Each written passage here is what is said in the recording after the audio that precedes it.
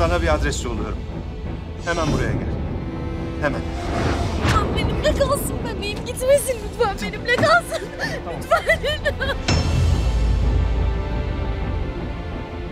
Yaşıyor mu? Bu inanılmaz. Gerçekten inanılmaz bir şey. Salih Efendi'nin kızısın.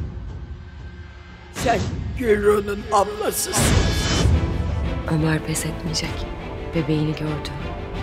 Onu gördüğümden beri annesine olan öfkem bile azaldı.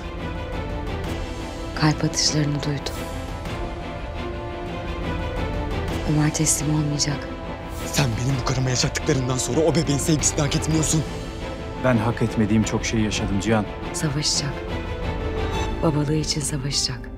Kimse bebeğimi benden uzaklaştıramaz.